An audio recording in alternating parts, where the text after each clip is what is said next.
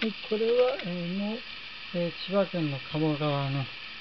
ゆるキャラで、マッツとかナナちゃんとかと同様の、えー、ゆるキャラですね。だからゆるキャラは基本的に全部ぬいぐるみ化してほしいなってのがあるんだけど、残念ながら、まあ、ゆるキャラだけに限らず、全ご当地ゆるキャラだけに限らず、えー、いろんな企業のゆるキャラとかいろんなのいるけど、それによってはのね、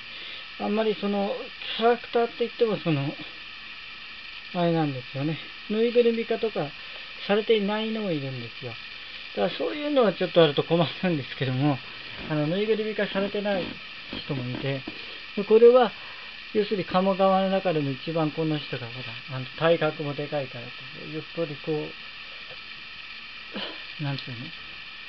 ゆるキャラとしてこう押されてる人なんですけど、これは、えー、太陽君って言ってね、あの、なんで太陽君だって言って、多分これあの、タイなんですよ。だからタイから太陽君って言って、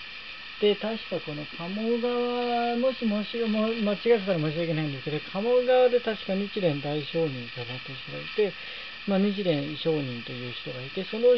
人が鴨川に生まれたんですよ、日蓮宗のそう本山。日蓮宗っていうかな。うん。で、その時に、その日蓮さんが生まれた時に、その、なんていうの、あの、タイ、タイの、タイが、でかいタイが泳い泳いだっていうのが、その、ことがあったらしくて、でそこからそう、とらあのそういうふうに指名として広がってって認識されていったわけですね。あとは鴨川ですと、鴨川シーワールドにあのイルカのショーというのがあって、えー、イルカショーがあるんですね。まあ、千葉県の近くだとその勝浦には滑川アイランドっていうのが昔あったんですが、まあ、それがもうずっと20年以上前に潰れてしまって、で、えー、そしてこの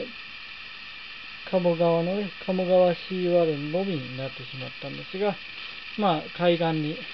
近いところにこう立ってて、国道沿いにあってね、海岸の隣っていうかね、にあって、で、そこに、あの、イルカのショーが、えー、毎年夏くらいとか、やってるのかな、うん、やっていて、で、昔、そこは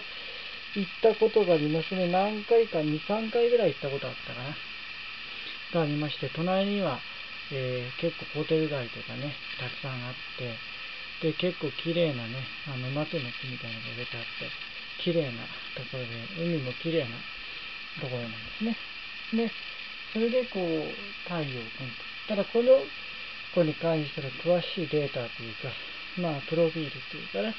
それがないので、今のとこないので、まあこういう、だからめ、ある意味珍しいですよね。普通は、まあキャラクターでとこういうキャラクターですよって言ってね、あの履歴書を提出して、提出してくるんですが、履歴書の中には名前だけしか提出してこないみたいなね、おいみたいなツッコミがあるんですが、名前だけしか提出してこないよみたいな、そういうキャラもいるんですよ。ですから、まあ、こういう、えー、キャラクターがいるよという形で、このようにね、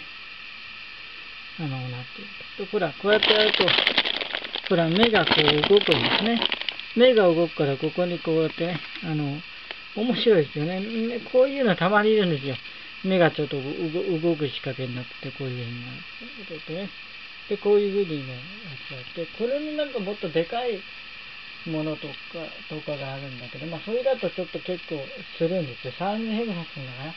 まあするので、まあこっちの方がね、いいかなという感じ。です。まあぬいぐるみもね、あの、大きい方の方が確かにこう抱き心地が良かったりとかね、あのー、そういった点では非常にいいなと思うんだけど、まあこれもちょっと大きい方に比べるとちょっとちっちゃかいんだけど、でもまあそれもそれでまた、それのよ、これの良さっていうのがあるので、まあ、このぬいぐるみもこのぬいぐるみでいいんじゃないかなと。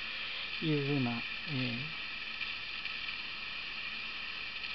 キャラクターですね。なので、まあなかなかのこう、新しいゆるキャラとして、えー、太陽君というのがありまし。てまあ